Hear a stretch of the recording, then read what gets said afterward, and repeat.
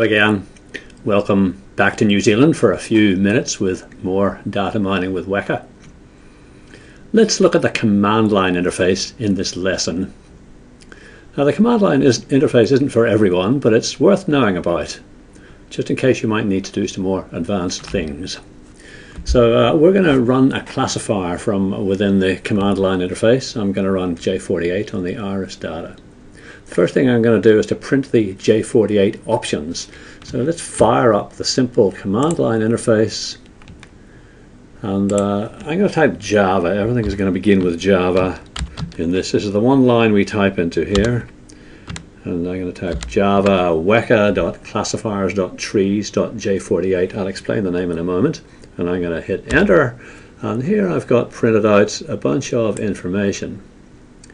Actually, this is error information. It says Weka exception, no training file and no object input file is given, and so because it can't interpret this command, Weka has kindly printed out the options for J48. Well, first of all, the general options, minus H for help, minus little t for training file, minus capital T for test file, we'll be using those.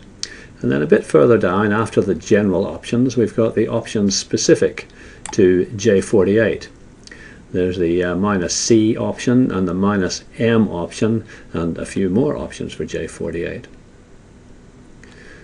To make sense of these options, uh, I've opened the Explorer here and I've uh, this is J48 in the default configuration. And you can see here the minus C option and the minus M option. These are things that we type into the command line, into the simple command line interface. So this is the default configuration, and these are parameters for J48.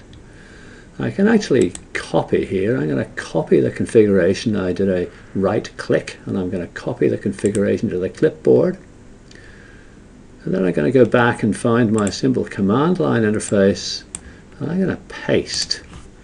It's Control V for paste. And, uh, oh, I should have put Java at the beginning.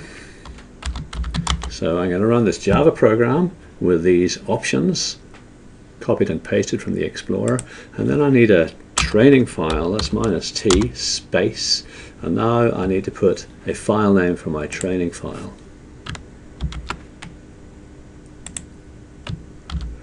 Well here it is.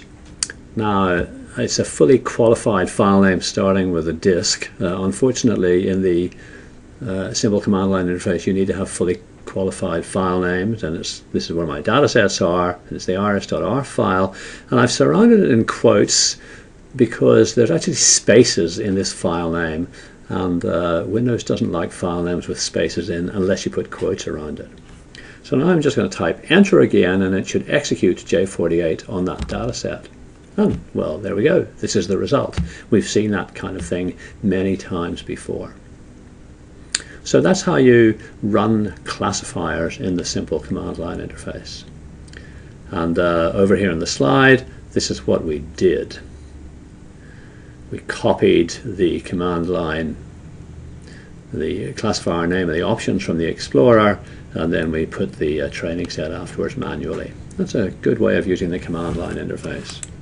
Now I want to talk about this uh, complicated name, weka.classifiers.trees.j48. J48 is a class which roughly means a program in Java. It's a collection of variables along with some methods, that is code, that operate on the variables. And uh, classes come in packages. A package is a directory containing related classes. So J48 is in the trees package, and the trees package is part of the classifiers package. We can see all this stuff in JavaDoc. It's useful to be able to look at the definitive documentation for Weka, and we can find that in our Weka installation. If I go to where I installed Weka, here's my computer. I'm going to go to C, and I installed it in program files x86. I'm going to find Weka here. There's Weka, and I'm going to find documentation.html, and there, let's make this smaller, is the documentation, and I want to look at the package documentation. I can see the Weka manual here.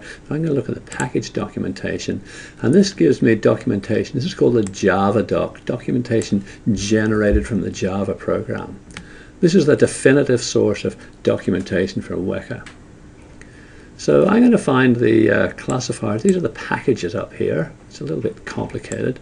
I'm going to find the class classifiers.trees package. Click that. And down here I've got the contents of the classifiers.trees package and I can click J48 and here I can see information about the J48 class.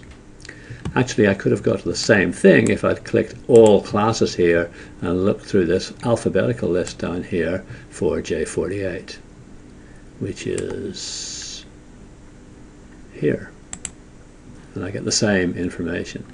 So when I look at this Java doc if I go down here, you can see some computery stuff here, and you can see the options. This is the definitive source of the options for J48. These are options that you can use in the Explorer or in the simple command line interface.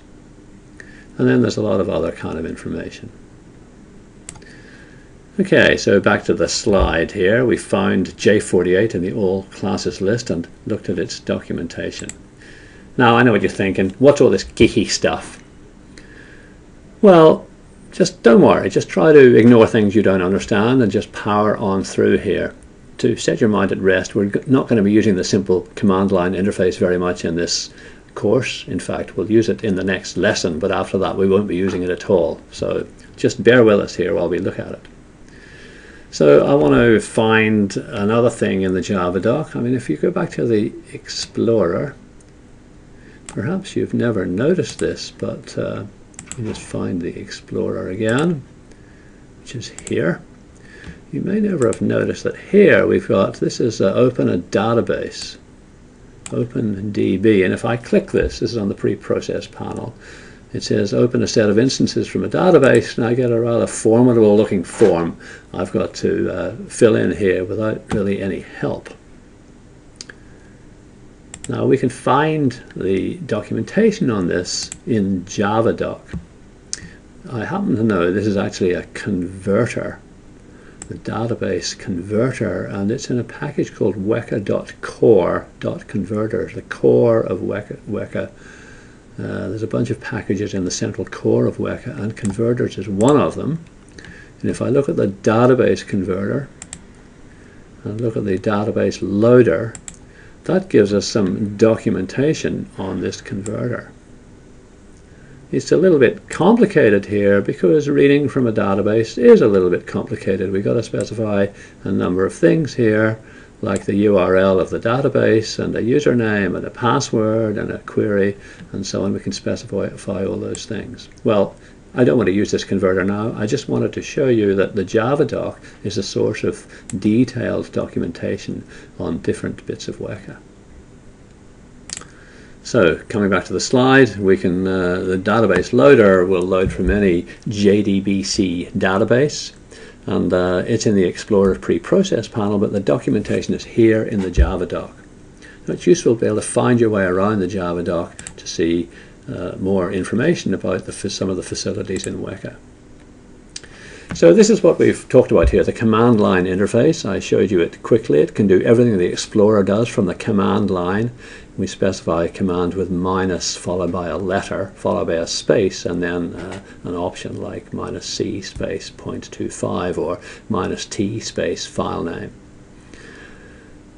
You only get one line in the command line interface to type things, and uh, people often open a terminal window instead, uh, which gives you some advantages. You can do scripting, so you can script a sequence of Weka commands, but in order to do that, you need to be able to set up your environment properly, and we're not going to cover that in this course.